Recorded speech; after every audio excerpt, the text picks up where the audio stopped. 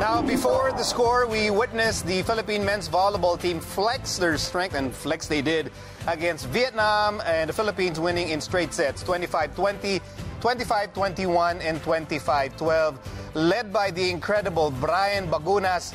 And uh, you know Josh Retamar was a bright future. This win shows that we have a solid shot uh, to secure the number one spot in our bracket and boosting our chances for a medal finish. Now here to uh, help us uh, break down the team's win over Vietnam in their upcoming games, our analysts, Carmela Tunay and Neil Flores. Hi, guys. Hi, good evening. Yeah, I like it that we're all smiles. because we won. We should be smiling. Because, because we won. By the way, shout out to the Ateneo Blue Eagles, yung cheering squad natin for Team Philippines earlier. Thank you, thank you, uh, thank you guys. Now, men's volleyball, how impressed were, were you guys with that win by the Philippines over Vietnam? Mela?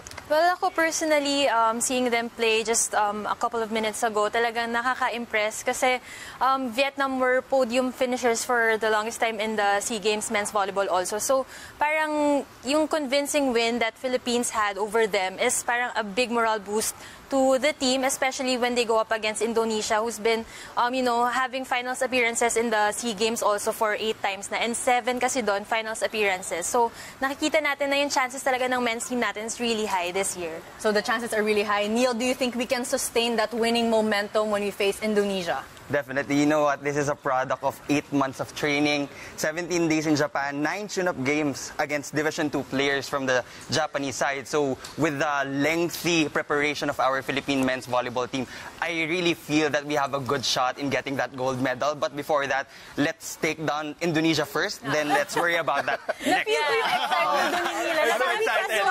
But let's manage expectations. Yeah, one set at a time lang, uh, guys. And I, li- I like it that sinil, na, dala niya ay tin- training itinerary na. ano eh. Alam niya eh. alam na alam Yung niya. days and everything. Uh, okay, uh, Brian Bagunas, uh, what an athletic marvel. I mean, he was jumping above the net.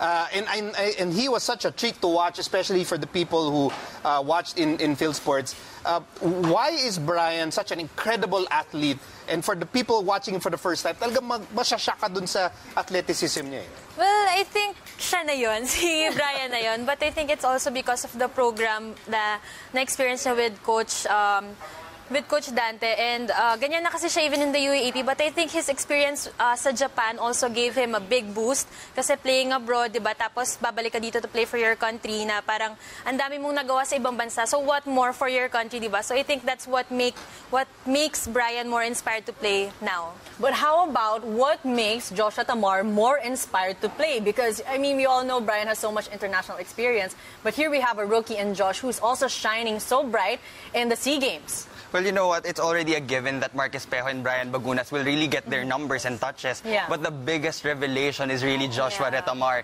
He was the last addition in our Philippine men's volleyball team. A lot of people were actually questioning, kaya ba nito kasi masyado pang bata? But in the past two games, we really see, uh, we really Youth is not an issue Yeah, when youth is not an Josh. issue when it comes to ball distribution, the blocking na yung sinasabi ni Coach Dante, that that is purely the advantage of our Philippine men's volleyball team compared to the other countries. Okay, let's go over the strengths of our team and what will give us a chance to take down Indonesia. So Mela, I'll start with you. Ano yung para sa'yo na number one strength ng ating men's volleyball team? Hindi ko masabi number one. Pwede po bang two? Tumawad. Alam mo, Mela, Christmas ngayon, tito. Mela Dapat mata- matagal tayo hindi nagkikita. I will give you two. Sige, Sige, sige po. I think it's really the blocks and um, service aces ng Philippines. Kasi in their past two games, siguro yung mga attacks, ano eh, medyo nag equalize lang with our opponents. Pero yung blocks at saka uh, service aces natin, talagang iba. Mi- Minsan may 10-point disparity on that department each. So parang I think yun din yung nagdadala sa atin. Especially when our opponents talaga are making a rally. Tapos yung blocks natin tuloy-tuloy. And yung leading best blocker nga natin so far in the two games is itong si Retamar. So parang big boost yon sa team kasi namamatay lagi momentum ng kalaban natin when they rally and stay close to us. I wanted to also, I'm curious, eh, you know, Josh, as we mentioned, he's young. Do you think some people would tend to look at it as a disadvantage because kulang na experience, yun nga, wala masyadong, you know, in the international scene. But when he's doing so much for the Philippine team, do you think he's becoming more of a catalyst, more of a game changer in a sense for the men's volleyball team? Yes, I would have to agree because five out of the seven players in the first six of Coach Dante's team comes from NU. So the comf- the comfort of Joshua Retamar setting Bryan Bagunas and his middles, yan yung advantage natin. If you watch the game earlier, ang daming nakuhang fish na middles, kaya ang daming gaps dun sa blocking nung kalaban natin kanina. If, if we can go to more combination plays with Joshua Retamar, we can really get a good podium finish. The Okay. excitement is really there. Yeah. And you can tell sa body language nung team natin, Yeah. ah, for those watching, ah, they have the confidence. You see it in the eyes, you see it sa kilos. There's no ano eh, wala yung para bang hesit, nag-hesitate or para bang magduda sa, sa self ab- ability to, you know, to win this. Do you see that? Do you sense that the, itong team natin, they have the true winning confidence in the SEA Games? Ako, nakikita ko siya, um, especially because um, I've covered Indonesia as well and other and other countries that we will play against. Talagang iba yung sigla ng Philippine team. Siyempre, siyempre tayo rin yung host, pero iba rin yung nadudulot dun sa game nila. I mean, Indonesia has been winning their past two games as well, pero the energy is not the same. And I think that just gives um, a bonus para sa team natin to perform better despite kung ano man yung mga errors na nagkakaroon tayo because body language is really a big, big thing in sports. Uh, Neil, what do we need to watch out for sa susunod na kalaban natin so that, uh, you know, we can, we can win that match? Well, you know, Vietnam and Indonesia, medyo similar yung strategies. They have one go-to player. Actually, Mela covered Yeah. the game of Indonesia. It was number 12, Rivan, with 22 points. So if we can limit the number of points from that person, I think we can get that win against Indonesia.